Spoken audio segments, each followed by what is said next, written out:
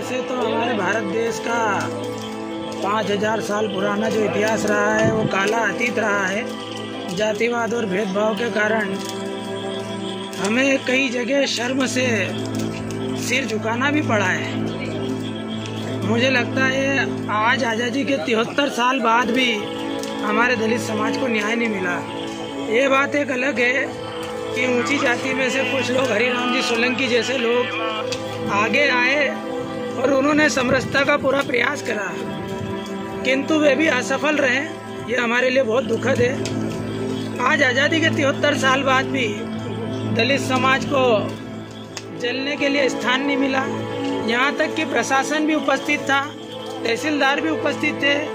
फिर भी हमारी दलित महिला को, दलित के शव को जलने के लिए सवर्णों ने, ऊँची जाति के लोगों ने जगह नहीं दी।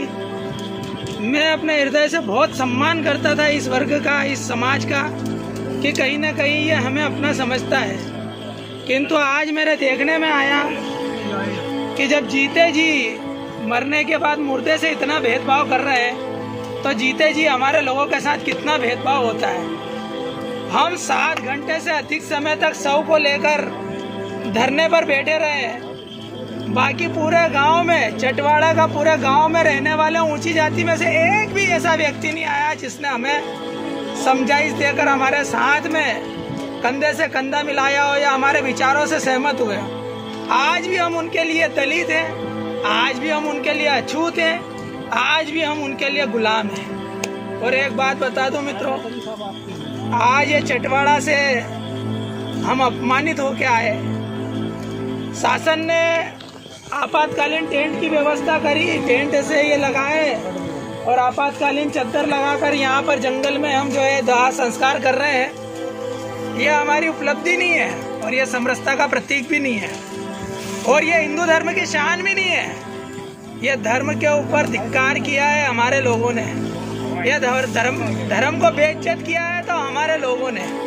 हमारे कौन लोग जो हमारे धर्म के ठेकेदार बनते हैं।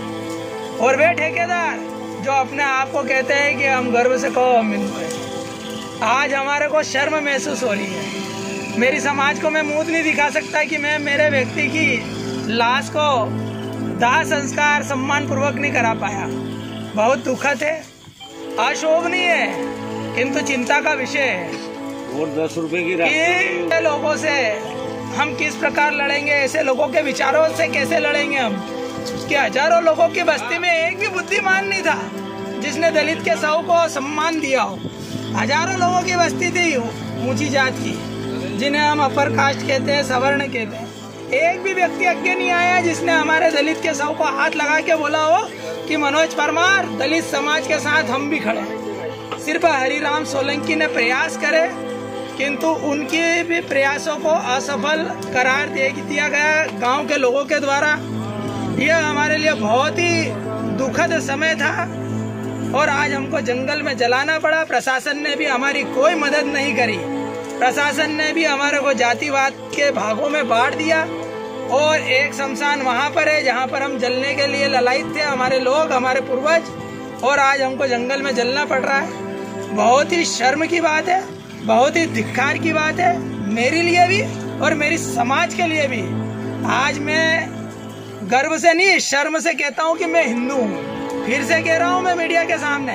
आज मैं गर्व से नहीं कहता शर्म से कह रहा हूँ कि मैं हिंदू हूँ और मेरा इस समाज में इस धर्म में जन्म हुआ। है ये मेरा दुर्भाग्य है कि इस कुंठित मानसिकता दूषित मानसिकता जैसे धर्म में में मेरा जन्म हुआ। है मेरे पास शब्द नहीं है आलोचना के निंदा के।